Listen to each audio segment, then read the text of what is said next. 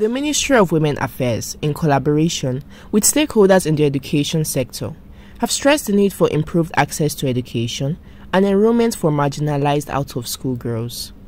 They made the call at an event to mark the International Day of the Girl Child, organized by Talitha Cumi Foundation, TCF, an NGO in Abuja.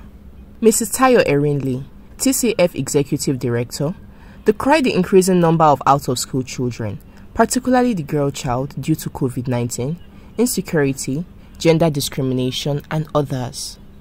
Erin Erinle therefore stressed the need for behavioral change and implementation of policies that would protect the rights of the girl child and ensure cases of abuse or violence against them are addressed. So it's for all of us to have attitudinal change, to know that a girl has a right to life, a girl has a right to education, a girl has a right to health, she has a right to, to speak and to be listened to and to be heard.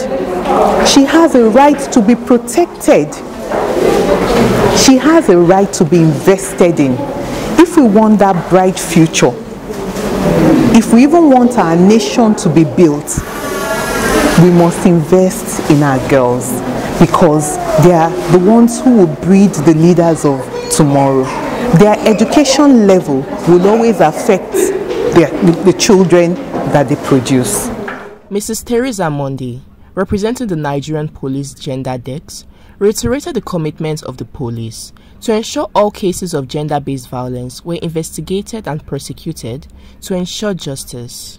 We have so many cases this year than last year, and all our girls, most of the uh, survivors are out of school girls, like I say, and that is our concern because if they are in school, they be able to, they, they have the knowledge and how to protect themselves. But I'm happy with this now. At least they have the knowledge now. To, they will know how to protect themselves and they will know how to defend themselves and they will know where and where to go if there's any uh, molestation, um, any situation at all that they can report to police. They can do that.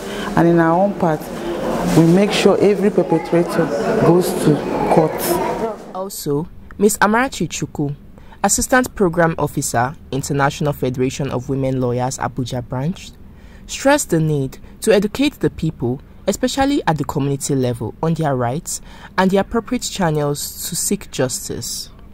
Issue of rape, we still advocating for special courts for such, so that the trial will be speeded and the, the victim or the survivor will get justice on time. Because most of them going to court one year, two years, three years for a particular matter, some of them will drop out and say I'm no longer interested or I don't want to go for it again.